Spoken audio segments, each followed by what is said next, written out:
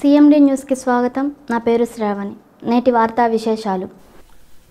Pipe line leakage కోసం గుంతను తవ్వారు మరమ్మతులు మర్చారు. Municipality అధికారుల నిర్లక్ష్యం ప్రజలకు శాపం.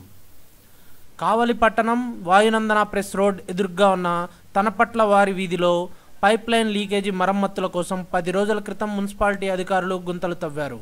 కానీ పైప్ లైన్ మరమ్మతులు చేయకపోవడంతో మున్సిపల్ అధికారుల నిర్లక్ష్యం కారణంగా ఆ ప్రాంతంలో నిత్యం ప్రమాదాలు జరుగుతున్నాయి.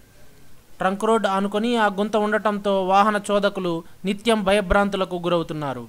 ఆ వీధిలో మంచినీటి కొరత కూడా ఏర్పడింది. ఇప్పటికైనా అధికారులు స్పందించి పైప్లైన్ మరమ్మతులు చేసి గుంతను పూడ్చాలని ఆ ప్రాంత ప్రజలు కోరుకుంటున్నారు.